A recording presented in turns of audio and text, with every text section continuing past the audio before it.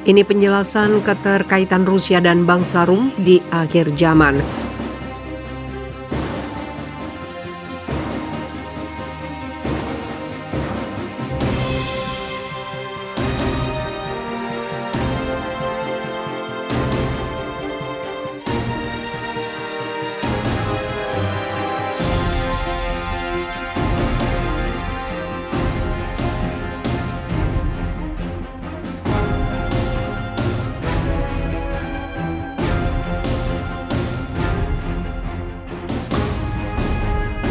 Ini penjelasan keterkaitan Rusia dan bangsa Rum di akhir zaman.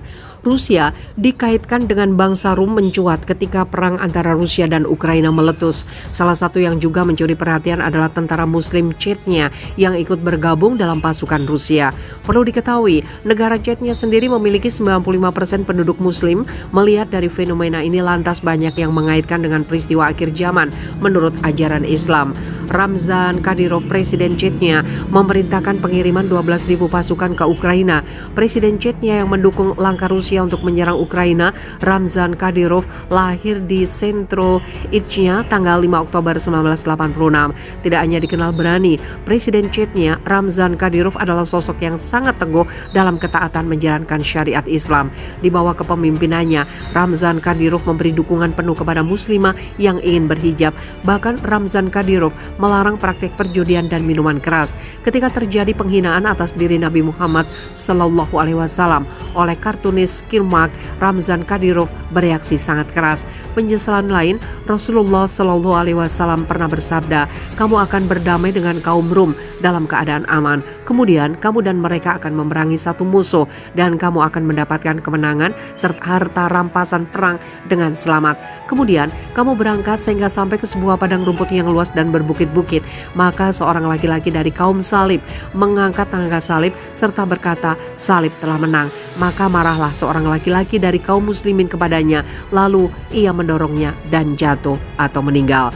Pada waktu itu orang-orang Rum berkhianat dan mereka berkumpul untuk memerangi kamu di bawah 80 bendera, di mana tiap-tiap bendera terdapat 12 ten ribu tentara. Hadis riwayat Ahmad Abu Daud dan Ibnu Majah. Menurut Julfan Aldila dari kanal YouTube Rabanians ID, Hadis ini juga ditulis oleh Ibnu Katsir dalam sebuah kitab. Hadis ini menjelaskan soal umat Islam dan bangsa Rum satu saat akan melakukan sebuah perjanjian damai yang mana tujuannya untuk memerangi satu musuh. Dari sini banyak orang yang berpendapat bahwa Rusia adalah bangsa Rum yang dimaksud dalam hadis tersebut. Benarkah demikian? Zulfan mengatakan istilah Rum dalam bangsa Arab sudah dikenal sejak abad keempat Masehi dan tertulis di Prasasti Namara. Adapun istilah Rum di sini juga sesuai dengan Rum dalam Al-Qur'an, khususnya dalam surat Arum yaitu sama-sama dipahami sebagai Kekaisaran Romawi Timur.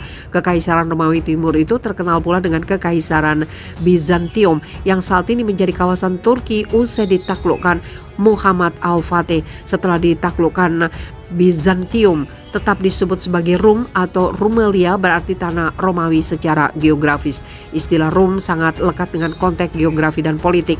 Hanya saja yang menjadi masalah adalah hadis yang kita sebut di awal agak menjadi kontradiksi kalau merujuk ke kondisi yang sekarang, ujar Julvan.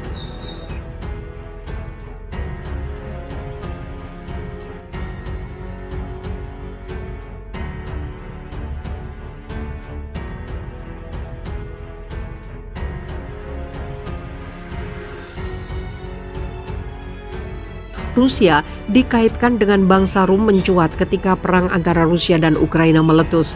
Salah satu yang juga mencuri perhatian adalah tentara muslim Chechnya yang ikut bergabung dalam pasukan Rusia. Perlu diketahui, negara Chechnya sendiri memiliki 95% penduduk muslim. Melihat dari fenomena ini lantas banyak yang mengaitkan dengan peristiwa akhir zaman menurut ajaran Islam. Ramzan Kadyrov, Presiden Chechnya, memerintahkan pengiriman 12.000 pasukan ke Ukraina. Presiden Chechnya yang mendukung langkah Rusia Rusia untuk menyerang Ukraina, Ramzan Kadyrov lahir di Sentro Ichnya tanggal 5 Oktober 1986. Tidak hanya dikenal berani, Presiden Chechnya, Ramzan Kadyrov adalah sosok yang sangat teguh dalam ketaatan menjalankan syariat Islam.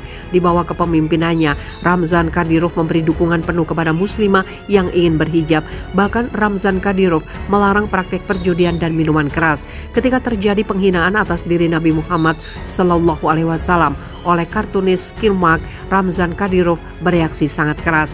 Penyesalan lain, Rasulullah Shallallahu Alaihi Wasallam pernah bersabda, "Kamu akan berdamai dengan kaum Rum dalam keadaan aman. Kemudian kamu dan mereka akan memerangi satu musuh dan kamu akan mendapatkan kemenangan serta harta rampasan perang dengan selamat. Kemudian kamu berangkat sehingga sampai ke sebuah padang rumput yang luas dan berbukit-bukit. Maka seorang laki-laki dari kaum Salib mengangkat tangga salib serta berkata, "Salib telah menang."